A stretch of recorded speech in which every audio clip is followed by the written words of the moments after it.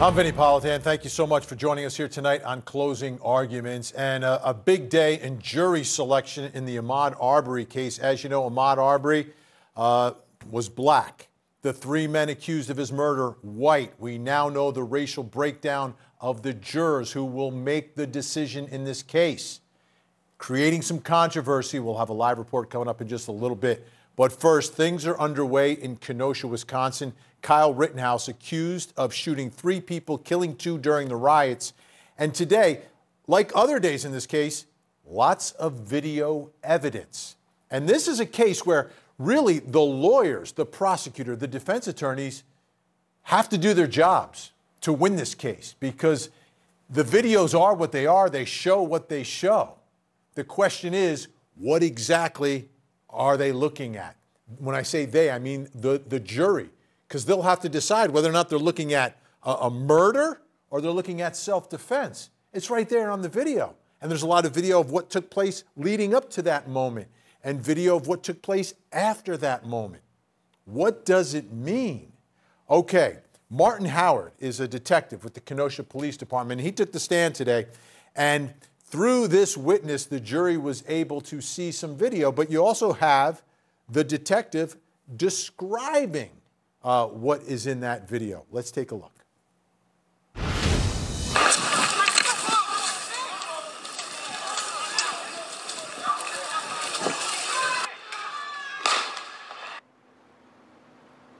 I'm just going to point out I want to point out for the jury, just so uh, we can follow the action here, we have this individual is the defendant, Kyle Rittenhouse. This individual is Joseph Rosenbaum, and the individual in black with the white lettering on the back of his shirt is Richie McGinniss. Go ahead.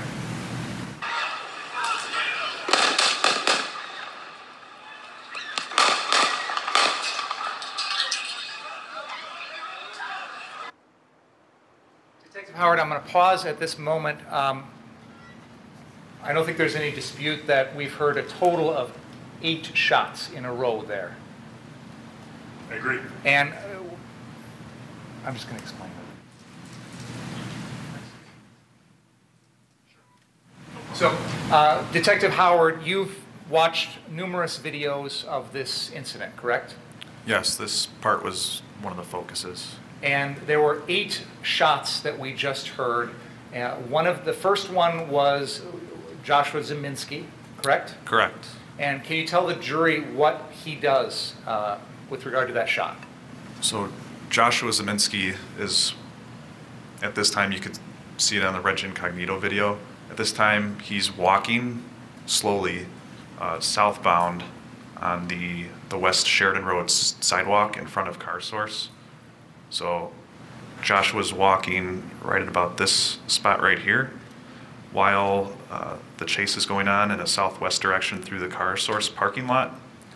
Um, at that time, Joshua Ziminski has a handgun in his right hand and he raises his hand up in the air and fires one shot. At that time, Mr. Rittenhouse and Mr. Rosenbaum are running through the, uh, the car source parking lot, so Mr. Ziminski's gunshot happens behind them.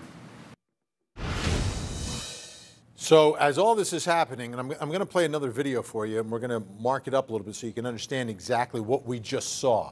Because there's different people involved here. You've got Joseph Rosenbaum, who gets shot and killed. You've got Kyle Rittenhouse, who's the one who shoots and kills him. Then you've got Joshua Ziminski, who was there at the scene. He's the first one to fire his weapon, and he is behind Rosenbaum uh, when he just fires his gun up in the air. There's a fourth person who was there as well, very significant person, uh, McGinniss, who's actually a journalist who is tracking or following Rittenhouse around the streets of Kenosha. So, four people there, very significant. Let's take another look at this video. Um, and, and again, we're going to try to identify some of the people involved here and slow it down a little bit for you.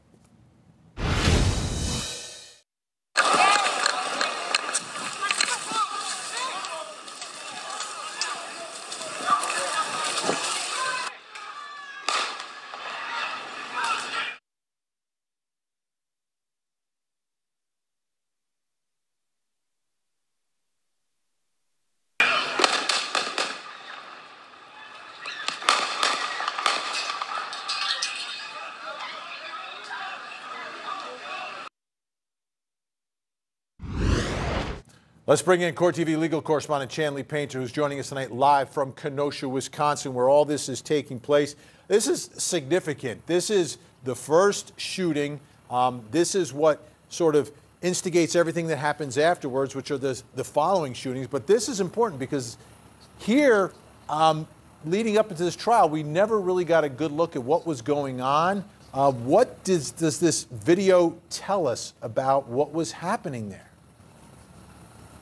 This today inside the courtroom, really a visual overload with the jury being able to almost look from every different angle that shooting of Joseph Rosenbaum. That first time they're seeing it during this trial and they're seeing it from different perspectives. And like you did, in that the prosecutor would stop a video and point out who was who, where they were in the video, and it was almost like conducting a class. The jurors were taking down a lot of notes throughout this, trying to understand, even leaning forward in their seat to really study the television screen in front of them about this video. But it's a huge moment because it's really breaking down what happened that night and who was where and what was being uh, said during that time in these videos and the commotion. You could really feel the mayhem of that evening, especially when those shots started to be uh, fired. And of course, they're saying Ziminski fired one shot, and of course, that led to the succession of fires from Rittenhouse to Rosenbaum, which this jury was able to see up close. Then there were shots even after that by some unknown person, correct? Yeah. Right, and that was also made clear today, a, a couple blocks away, apparently, Vinnie. Someone fired three more shots that they could hear in the video. The detective made that clear that that was not Kyle Rittenhouse or Ziminski, but some unknown person.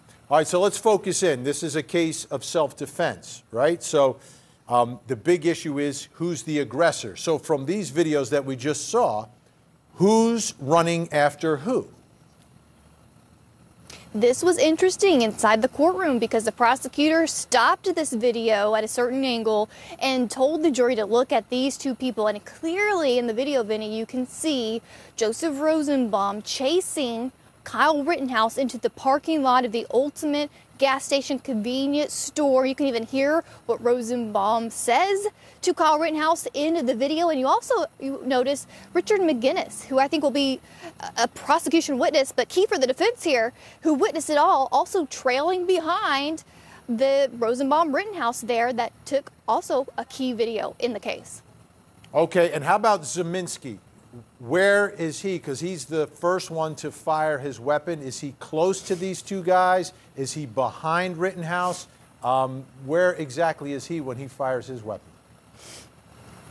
He is in the vicinity. He's not in the key video that you see that we've all seen of Rosenbaum chasing Rittenhouse, but you have to kind of turn a little bit to see where Ziminski would be standing. It's not too far away, but it's obviously close enough to where it makes it think the defense wants to claim that that Kyle was alerted by that gunshot from Ziminski. So in, in terms of direction, it would be if, if Rittenhouse is is in front of Rosenbaum. Is Ziminski behind Rosenbaum or is he behind Rittenhouse? Behind Rosenbaum. It, I believe that was what it was made clear. You kind of have to go across the street away, so it would seem as though it was coming from across the direction, I guess, behind Rosenbaum, is really what it would be. Uh, and again, Kyle Rittenhouse is the one in the front leading, then it's Rosenbaum chasing after him, and then you have Richie McGinniss after the two of them uh, having his video going. All right, let me see how all this affects self defense, because that's the ultimate issue in this case. Let's bring in our think tank tonight. Who's joining us? In Atlanta, Georgia, criminal defense attorney Eklund Mercy. In Los Angeles, California, former federal prosecutor Nima Rahmani. And in Phoenix, Arizona, the attorney who represented Jodi Arias, also the author of the book series Trapped with Ms. Arias, Kirk Nurmi is here tonight. Eklund Mercy, let me ask you. The prosecutor got up in his opening statement and was telling us that it was Rittenhouse who was chasing down Rosenbaum. Now we're watching a video inside the courtroom, and it's Rosenbaum chasing Rittenhouse. Um, how, how, how does that help prosecutors? I don't understand why a prosecutor would say Rittenhouse is chasing down Rosenbaum if there's a video that he's putting into evidence that shows it the other way around.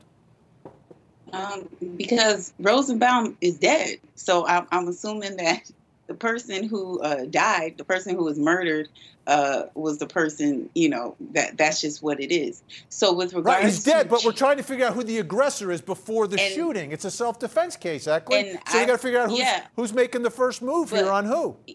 Yeah, and and what I feel there's a lot of videos, so I, I believe that um, when well when I'm doing cases, there's a lot of video. Whatever I said in my opening, I'll be able to back up during videos. This is just one shot, so we have no idea what's in the prosecutor's bag. We have no idea what his um, strategy is with regards to this. So we can see. Um, I've seen prosecutors do this, and it pisses me off. I've seen prosecutors do this often in which they kind of um, show their their their head their hand and then kind of flip it once it comes you know once it's closer to closing so i'm going to keep my judgment because I, I i do believe that this may just be strategy All right, Nima Rahmani, you're the former federal prosecutor.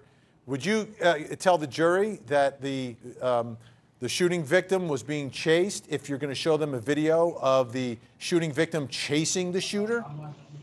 I would, Vinnie. I would do that in opening statement when I have federal agent Brandon Crammon, who testified yesterday. Obviously, we couldn't hear or watch that video, but apparently he it was the federal agent who's going to testify that the feds had some sort of aircraft that actually tracked Rittenhouse and showed that Rittenhouse was chasing Rosenbaum. That's what the prosecutor said in opening statement. That's what that witness, I believe, testified to. But again, the media wasn't able to cover that particular witness yesterday. Well, So let, let me ask you what we're watching now, though. This is right before the shooting. This is right before the shooting. Nima, isn't isn't this the moment that is more significant than whatever w- was shown off camera yesterday? But again, I don't know what that witness testified to. The whole basis of the prosecutor's opening statement was that aerial surveillance. Unfortunately, we don't know what it showed, but it had to have been good enough for the prosecutor to get up during opening statement and make that representation to the jury. Otherwise, you lose a lot of credibility if you do that and you can't deliver. Yeah. Uh, let's take a listen to this now. There, there was more video, Kirk. I, I want to show you.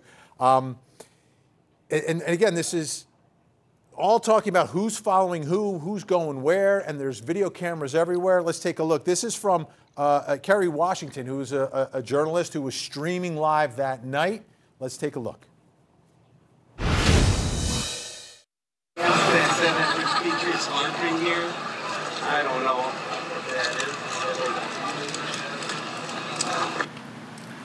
It's hard to catch at the very second, but uh, at, at any rate, Mr. uh, Washington, we now know. Oh, perfect, excellent. Uh, we now know that that is the defendant, uh, Kyle Rittenhouse, running through the screen carrying a fire extinguisher. Um, you would agree with me on that, correct? Yes. Okay. Um, let's continue the video for a few seconds, and then I'm going to have you pause again, please. Can you give me updates on the uh, technology? Already trying to, but let's just only like to play let's check it out, right?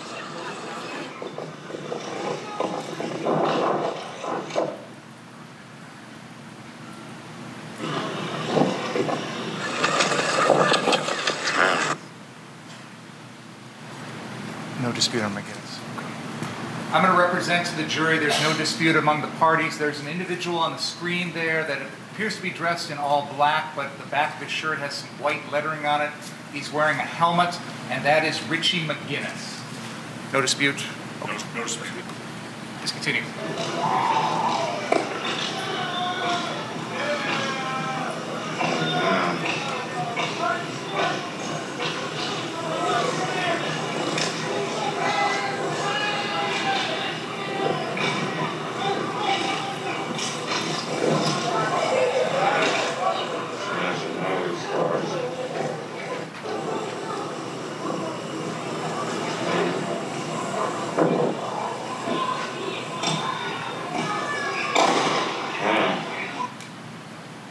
Pay attention to the area uh, in front of Car Source here, sort of, uh, uh, you'll see some figures running from right to left here on the screen. I just want to direct your attention to it so you know exactly where to look. Go ahead.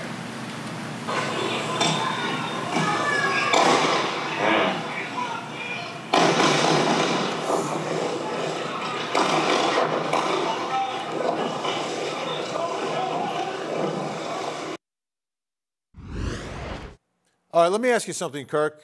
Um, again, we're, talking about the video that wasn't shown to us, okay? So there's infrared from the FBI up in the sky watching everything.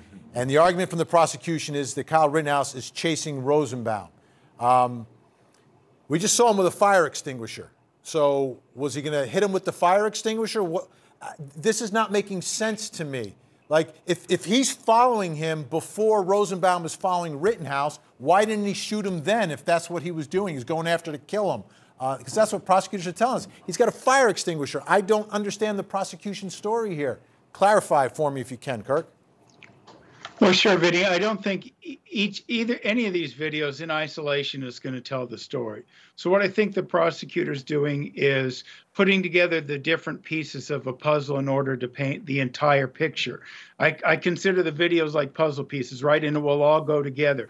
That EMT bag, that fire extinguisher, I think is important because it might remind people of another video where where Mr. Rittenhouse is declaring himself an EMT and having all this training, and he's the savior of this situation.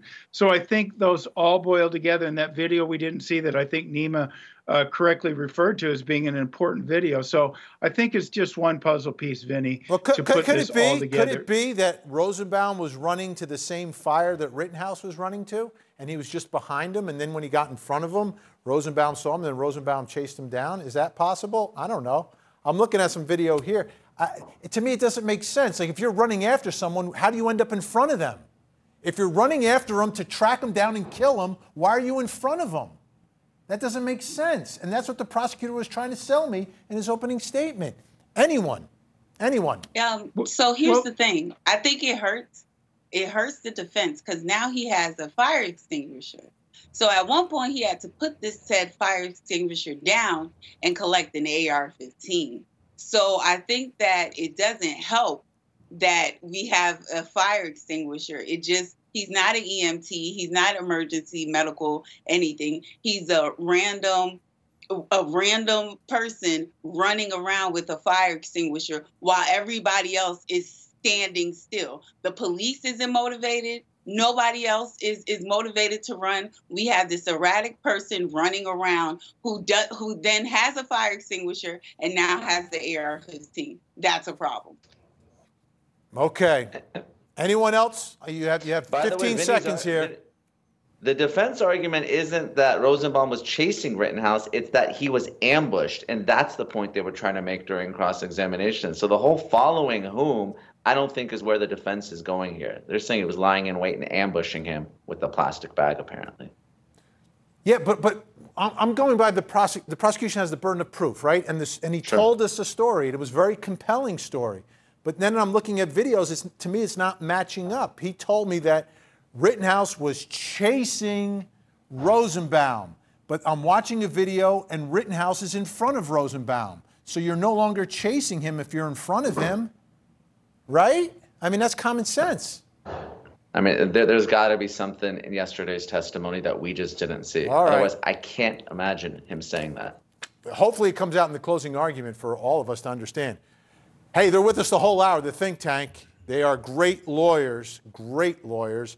Um, when we come back, we've got more. And, of course, more video of the other shooting. The first time the jury is, is seeing that uh, through a witness. So we'll talk about that when we come back.